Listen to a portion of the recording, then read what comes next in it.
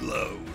32 mind-blowing bots, survivors of the fiery, ferocious, and high-flying qualifying round, now face the single elimination stage. One chance to move on, zero room for error, and everything on the line. The teams are ready, the bots are rebuilt. This is Bash Bots, the round of 32.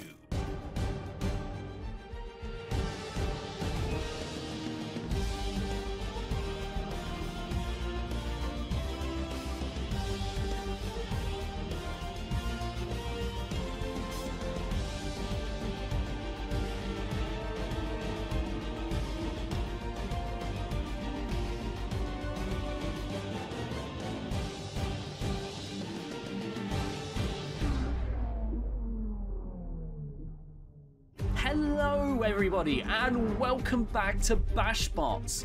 I am your host, the Dominus Ignis, and this is the round of 32. The robots that have survived the qualifiers and wildcard rumbles are here tonight for the single elimination stage of the tournament. No second chances and no excuses. If you win, you move on. If you lose, you go home and lose the chance to raise this trophy, the Giant Wrench, as the Season 3 Bashbots champion. As per usual, the remaining robots have been ranked 1 through 32 for our 32 bot bracket, representing the field for this season's championship. Let's take a look at the seeds. Each quadrant of the bracket is anchored by one of the top seeds. For the second year in a row, Bone Man Ace takes the number one seed, this time with his new robot Tranquilizer, after leaving his opponent in a ball of fire in his first fight. Being the number one seed doesn't mean he will have the easiest run through the bracket though, as residing in the same quadrant we can see last season's fourth place finisher Tenderlove, and just above that, the deadly flipperbot Mars. Taking a look at Quad 2, the number 2 seed Amber is one of the favourites to take the giant wrench after Sploogle completely dismantled GoldenEye in the qualifiers. They could be on a collision course with the number 7 seed Rookie Liberator or even the number 10 seed Vertical Spinner of Cosmo. Looking into the third quadrant, the top seed is our number 3 seed Thunderwave, coming off a successful Season 2 campaign finishing in third place. Perhaps the biggest threat to Thunderwave in this quadrant is the number 6 seed Claymore. But not to be underestimated is the grappler bot Atlas and the two robots from a legendary rematch as Migronic takes on Firewave. The fourth quadrant holds the two Bashbots champions as Polis and Sparks take the fourth and fifth seeds respectively. Undoubtedly on course to meet in the quarterfinals. There are some other familiar names in this section as Panther takes the 13th seed, Ursula takes the 12th seed, and one of the shock winners of the qualifying round, Glacier, takes the number 28 seed. We're going to get the bracket going with a fight between the number 3 seed Thunderwave and the 30 seed Ace 5. Let's take a look at how they got to this stage of the tournament. Thunderwave faced off against Irod and after 3 minutes of destruction won the fight with seconds to go. Nick Dusty Owl and his robot Ace 5 were matched up against Firewave. The fight didn't last long with the spinner getting caught in the drums and Ace 5 moved on. He will be looking to prove that win wasn't just luck by flipping the tournament on its head and taking down Thunderwave. Let's send it down to the Dan Breather to break down the matchup. And here we are, kicking off the round of 32 with a public execution. Thunderwave, our third seed, performed exactly as expected in the qualifiers, tearing apart Iroh to give us a victory by KO. Ounce's machine is set to blaze through this bracket, and the first victim is Nick Dusty Owl and Ace 5, performing a huge upset against Firewave. Ace 5 just about shuffled into the brackets at the 13th seed with what some would say is extreme luck. To that I say, luck is just as important of a factor in a fight as skill is. But I can only go on for so long about the fight on paper. Let's just go watch this in action. Ladies and gentlemen, are you ready? It's robot fighting time! Let's bring out the bots! In the red square from the USA, With a chassis apparently made from a carpet tile, it's Thunderwave! And out first our number three seed, Thunderwave, based on an absolutely destructive first round match and a historic series of success in previous seasons. There they are beating Irod. They've got a real underdog against them here though. In the blue square from the USA, what happened to Ace 1, 2, 3, and 4? It's Ace 5! And here is said opponent, Ace 5, with that long lifting arm at the front. It's already beaten a wave in this competition, Fire Wave. And here we can see that win. Didn't actually do much, as Fire Wave got jammed up in the screws, and it impressed properly this time around. Okay, so I'm facing another box flipper. Uh, more ideal of a match than my last one. But I'm still going to try and employ the same strategy that I was using in that fight. So just try and get him to his, expose his sides as much as possible so I can tear off his wheels, his wedge, so I can get to the rest of him. Slowly destroy him bit by bit. Right, so the strategy for this fight is going to be a bit from the Firewave fight. So, since this has a stream mech actually, I'm gonna try to be as aggressive as possible. I got put around me. If that feels like I just gotta bully it around and just maybe run on JD. It's gonna be tough.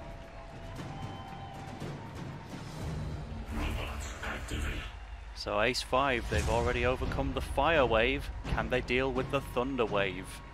A battle of yellow and black here on Bashbots.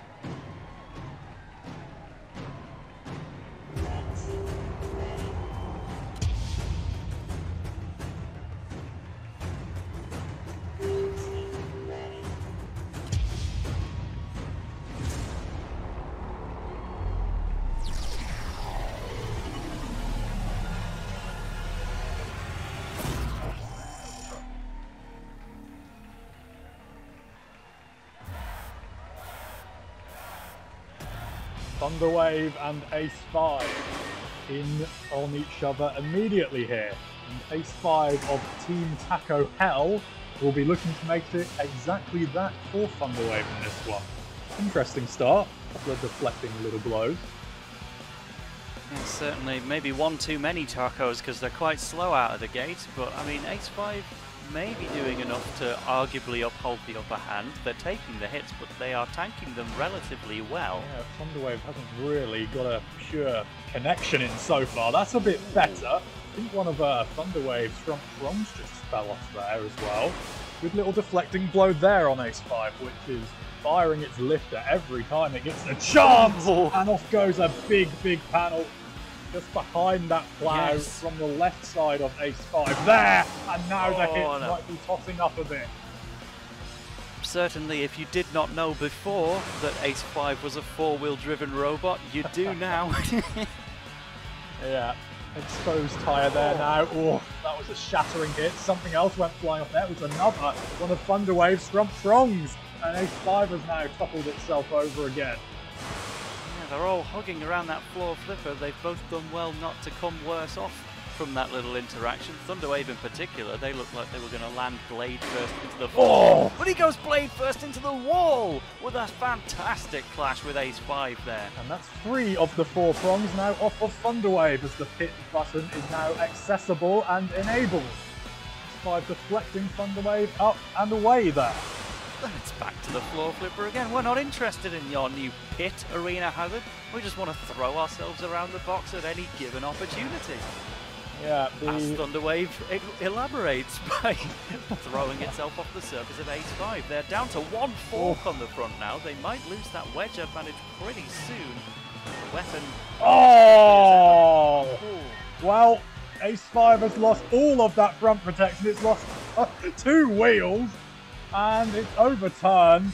And with 40 odd seconds to play here, that is a massive blow to the chances of Ace 5. It's coming apart piece by piece now. And this fight, which was rather casual to start with, is now turning into a rather brutal one as our camera gets absolutely ruined there by the flying tyre of Ace 5. Oh, but it's not over yet. The wheel has actually collided with Thunderwave's landing to upset it just a bit there. Ace 5, they are moving, oh. but they won't be moving any further. That is the final wheel, and they're still Oh. taking some last bits of damage. They are going to be counted out here. There wasn't much time left on the match itself, but they have just barely been counted out here. Two seconds remaining. Way! Good last attempt there. Good win though. Thunderwave through. Dang it. Oh, GG. I tried. So Ace 5 will be wondering, maybe if I could have lasted those extra two seconds, I could have taken this one to the judges, but even then, I don't think there was much doubt. They did a little bit of damage taking those front forks off of Thunderwave, and they certainly resisted the bar well in the opening stages, but all that damage racked up, and once Ace 5 started coming apart, they really started coming apart. No wheels on your wagon.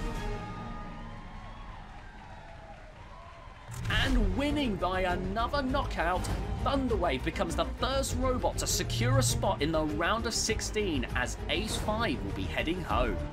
It's time for the second fight of the night as we dive into quadrant 1 for a battle between the 9 seed Tenderlove and the 24 seed Slapshot. Let's catch up with the teams. Neroli and Tenderlove faced off against R4 in the qualifiers. After a tight control battle, he eventually pushed his opponent into the pit. Slapshot's path to the round of 32 wasn't so easy.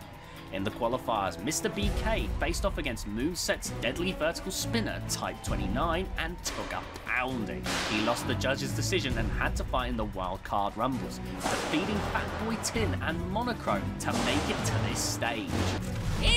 Red square, from England, it's just a box. It's Slapshot!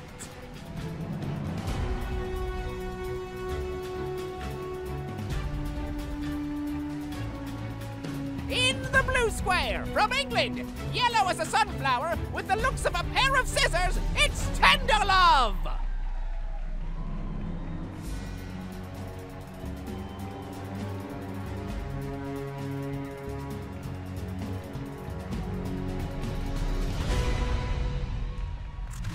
My strategy for for Tenderlove is probably use my low flips to try and gain each on his side and control the fight as best I can. I'm really happy I get to fight again, and hopefully I can keep going from here and actually try and win something, I guess. So, BK got quite a good flip on him. I'd rather not end up hooted if I can avoid it. Uh, I'm just going to hope that I can outdrive and outwedge him for the whole fight. Uh, I doubt I'll be able to get into the pit. I proved I wasn't capable of that in the R4 fight. We'll just have to see how it goes, to be honest.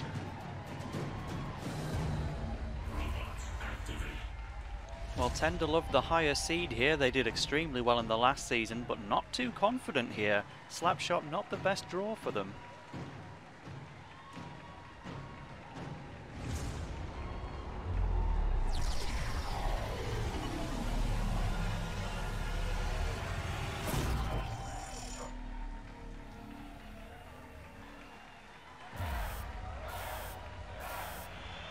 Away we go. Curious looking fight this one could be. Slapshot has already lost this season in the qualifying rounds, back through the rumbles after an Uta on monochrome. And on paper, it could give Tenderlove a bit of an issue here. And the high seed has started quite well. Good response though. Ah, very good. Yes, Slapshot wanting to prove here that you don't have to be painted yellow and black to compete in Bashbots. Our first bit of blue in today's episode. They are underneath that wedgelet of Tenderlove, but the forks are actually wedging underneath within that. Very intriguing uh, exchange of forks and clearances, but that's a good flip as Tenderlove rolls towards the grinder, just getting away there. Yeah, Tenderlove trying to reposition. Again, it is flicked over, not flipped up, but again turned, and there's a good Oh, flick up a flip. Really good throw from Slapshot here, and it has started really well after taking the first attack on the chin. I almost feel like with Tenderlove, they lose that front wedge so often. Is it even worth bringing it into the arena at this point? It's actually held on for this match, but it's stopping them from getting underneath properly. But Oh. that's still a great little drifting slam into the grinder, using the floor flipper for a combo attack there. Well, been a very interesting fight as we reach the halfway mark of it. Slapshot again lining up through that little grate at the front of Tenderlove. hit button is now enabled. Who will dare to use it here? Eva could take advantage of it. Again, Tenderlove's varied design there, proving its versatility with a good little reverse into the arena wall. This time the front wedge of Tenderlove is enough to get onto Slapshot. They're going for a trapping mechanism attack, but Slapshot firing straight back to say, get those forks back on the other side, please. Tenderlove just honing Slapshot into that arena wall, but they know they have no way to get underneath it and complete the lift out of the arena, so they're just going to hold the pin. They can do so for a maximum of 10 seconds, then they must back away, as they have just done, straight into an attack from Slapshot. It's been a really good, close tactical fight. You would have said that uh, for the previous 40 seconds before that attack, Tenderlove had come back in again and assumed some control, but again, are these more visually pleasing slapshot attacks going to be enough to swing this one, maybe? Here's the long drive! Really good slam from Tenderlove there. Yes, and I guess that's something you could say about Slapshot. They've made minimal use of those arena hazards. They had that one throw into the grinder in the early stages.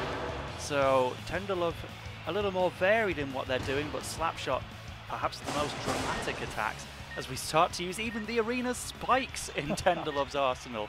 This is going down to the judges, and I could not call this one. As tight and tense as it could be. There we go. What a fight.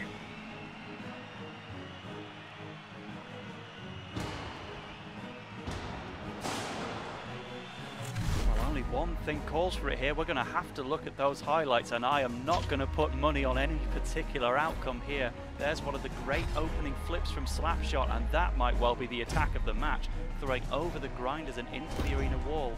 But Tenderlove, you could say they may have held control for more of the match.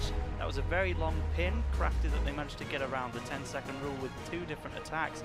Who's won this one? The judges' results are in. We have a 23 to 22 split decision. The winner and moving on to the next round is Tenderlove.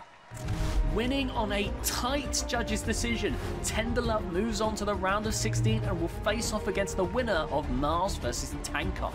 It's time for the third fight of the night as 10 seed Cosmo and the 23 seed Hospice will battle it out for a spot in the next round. Let's take a look at how these robots made it to the round of 32. Business Cat and Cosmo faced off against the full body spinner of Sea Devil. The fight didn't last long as the vertical spinner ripped off the self-righting pole and quickly flipped Sea Devil out of the arena. Hospice fought Jade in a tight control battle. After the two robots became stuck together and had to have a mid-fight unstick, it went the full distance and Hospice won the judge's decision. In the red square from the USA, the saga of the depressing name continues. It's Hospice!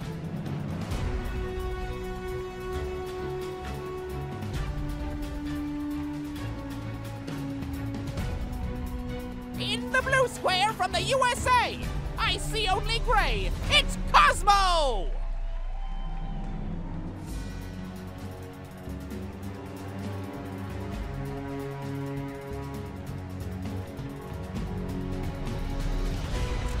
So my strategy against uh, Cosmo is to not get hit by his weapon and to hopefully win.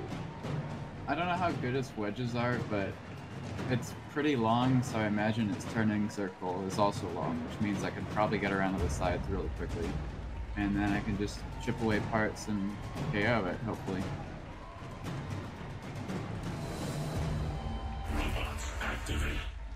Cosmo famously having one of the best win to loss records in Bashbot's history, Hospice hoping to join a very exclusive club of robots that can beat this thing.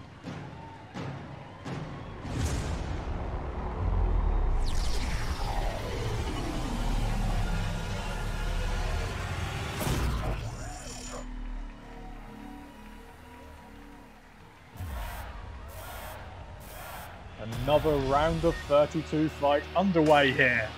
And it's an interesting first exchange here. Cosmo with a little couple of flicks with that vertical spinner. You can see Hospice is really gangly claw at the top of its lifter here, looking to clamp down and try and neutralize Cosmo, you'd hope, but it's not Oh. working early on. Another big cliff on Hospice there. It is a miracle that they're not showing visual signs of damage. They're hanging on the arena wall. They could just about make it in, maybe. Or are they stuck between the sides of the That's wall? That's right, the two prongs here of Hospice. They've finally released themselves. But Cosmo with an absolutely devastating start here. Hospice hasn't actually really taken any visual damage of note, but oh, Oh, good recovery. That's a brilliant grab, and were this a different corner of the arena, Hospice might have been able to end it there on the spot. Instead, we're over here by the floor flipper. They're just wanting to run out the clock on as long as they can hold this grab. Of course, there is a 10 second pinning rule when you're against a wall, but if you are moving around the arena, you can hold that opponent for up to 30 seconds. And Hospice is going to use every single one of those to do what they can against one of the heavy favourites of this tournament, Cosmo. Trying to deliver Cosmo into the screws there to end its period of domination. And there goes a Oh, wheel. lost a wheel. The front wheel from Hospice goes flying, and so does the whole machine. We've had a minute and a half of this one already. It's flown by, and Cosmo is flown up and away and spiraling and tumbling. Oh my goodness. Certainly, um, no idea what they were doing with that one, but now as we get into these one-to-one exchanges, Cosmo coming out on top more often than not.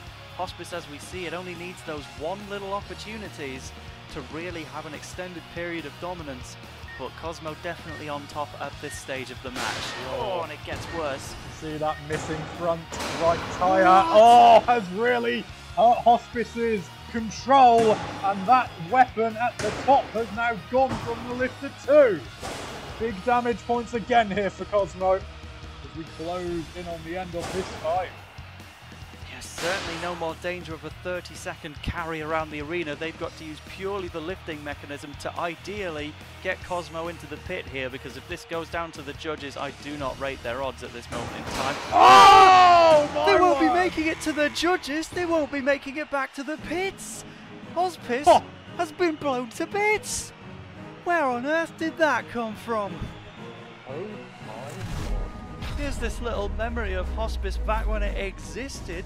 They had this great little period at one point, giving us hope that Cosmo, one of those really strong competitors in Bashbot, might have been facing an upset.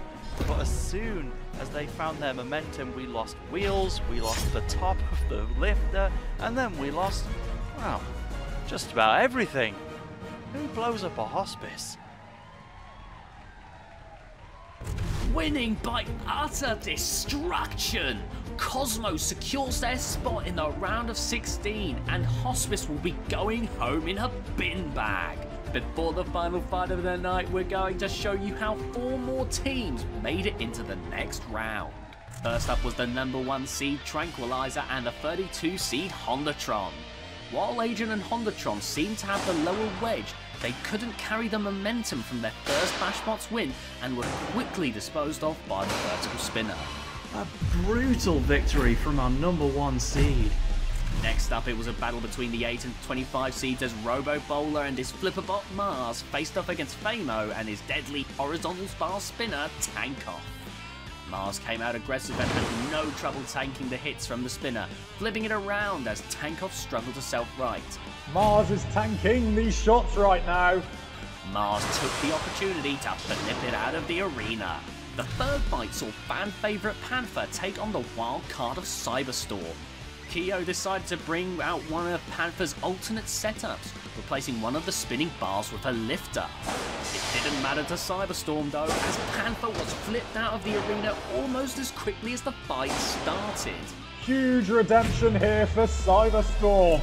The final fight saw the tri-bar spinner of Ursula take on the heavily armoured wildcard of Sucker Punch. Showing excellent driving skills, Bandit was able to angle the wedge perfectly to deflect Ursula on almost every hit, with the tri-bar not being able to find a purchase on it. Sucker Punch taking blow after blow here. The fight ended up going the distance and Sucker Punch took the decision, pulling off the upset.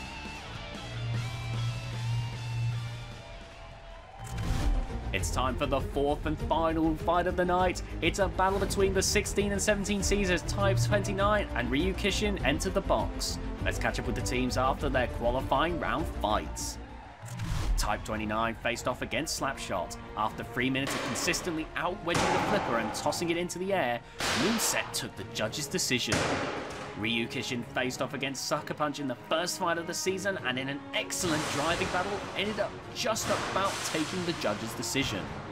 Coming into this fight, Tyrus has attached some extra forks to the front of his wedge in a hope to get underneath Type 29. Let's send it down to our match analyst to break down the fight. Ah, the spinner versus non-spinner. A classic matchup that I'm certainly not getting bored of anytime soon. Like most fights, this is all set to be decided by who gets under the other the most, but Virus knows this all too well. Slapping a wedgelet on the front of Ryu Kenshin, this robot is more than ready to take on Moonset and Type 29. But the spinner has faced similar-ish robots and it's performed fairly well when it did so. So it's very hard to nail this one down on paper. So, you know what has to be said, right? Let's get down to the arena. In the red square from Germany, it's a very own remote-controlled wasp nest. It's Ryu Kenshin. And out first in this 16 versus 17 matchup, we have the 17th seed Ryu Kishin representing Germany. They've added an extra wedgelet to the front of their robot to help get under Type 29. In the blue square from China, try remembering the number of last year's one without looking it up. It's Type 29. And here is the Germans' opponent. The Chinese machine, Type 29, the 16th seed as we know, has beaten Slapshot in the qualifiers to reach this stage, and here it is doing so, a nice spiralling flick into the air. What can it do in the round of 32? Let's find out here on Bashbots. Um, well, this time I'm aiming for driving my robot, uh, like moving it forward, uh, steer it around the arena, and maybe attack the opponent, and we will see how it will work out. And that's it.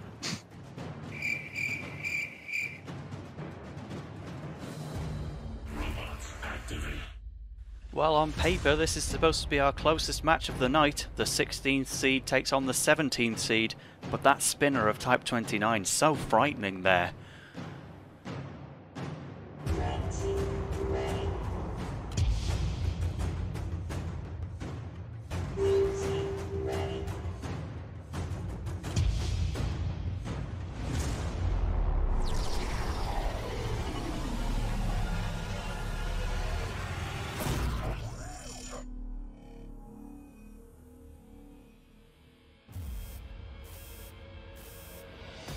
Away we go. Ryu Kashin charging across the arena and getting knocked over immediately by Type 29's devilish looking vertical bar. Mmm, that's right. They even added those two front wedgelets specifically for the sake of getting underneath Type 29. But as you say, one of them's gone and the other the other one hasn't been working from the outset.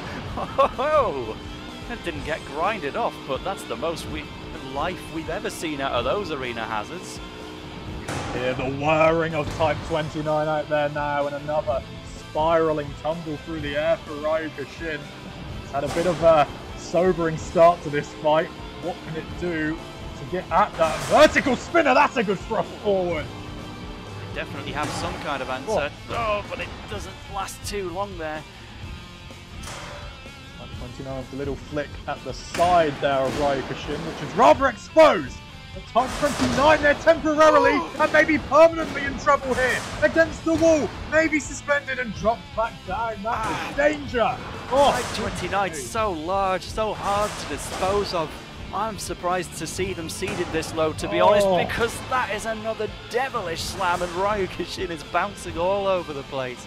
How much punishment can Ryu Kashin take here? Goes for a bit of a opportunistic thrust forward there without any connection. Type 29 trying to turn that weapon into Ryu Kashin again. Doing the turn again as the pit enabled. And once again, the arena soars. Just want to make themselves known. Uh, Ryu Kishin rightfully going for the pit. We haven't seen too much of that this season so far, but this is an example of a machine where they need that control to deal with that frightening vertical spinner. They're doing a lot better than they were at the start with another fantastic flip. Yeah, is Ryu Kashin starting to get some momentum here? As you can see, one of its entire wheel support brackets on the right side was ripped away in an earlier exchange there. And a couple of oh, you can't even keep up with this devastating impact that Type 29 can dish out at times. Ryukushin is still soldiering on, but goodness me, damage points are all going to one corner here. Yes, this final minute was absolutely going to be critical should this come to the judges, but frankly, this final minute has been all Type 29 so far. Things are only getting worse for Ryukushin, but that's a very tricky little drive from upside down to get away there. Ryukushin has been brave, but with 19, 18 seconds to go, Oh! could we see something miraculous? Maybe. Type 29 now back on its wheels there. Ryukushin darts across the arena but takes more punishment. It really has been an effort of immense proportions from Ryukushin, but it will go the distance with a lot of damage sustained. Oh, they almost managed to angle Type 29 into the pit right in the dying seconds, but this will go to the judges. And suddenly, I can only see this going one way. That opening exchange told you a lot. Those opening, those new wedgelets that were added to Ryukushin just didn't work out completely. They got better as it went along. That shot, as they tried to get Type 29 over the arena wall, really could have swung it, but such a huge machine hung on in there. They ripped the top ribs off of Ryukushin, and on damage, they're the heavy favourites now. The results from the judges are in. We have a unanimous decision. The winner is Type 29! Just scraping by on the decision, Type 29 moves on to the round of 16 to face the number one seed Tranquilizer as Ryu Kishin heads home. The round of 16 is taking shape as half of the slots have now been filled. Eight robots moved on tonight, and eight were sent home. Things are heating up, but that's all from us tonight. We thank you so much for watching, and we hope you enjoyed the show. Join us next time when the round of 32 will conclude. Until then, good night. Next time on Bashbots. The round of 32 concludes. The champion steps back into the box. High flying rookies look to take the next step to glory. And two years in the making. It's all coming up next time on Bashbots.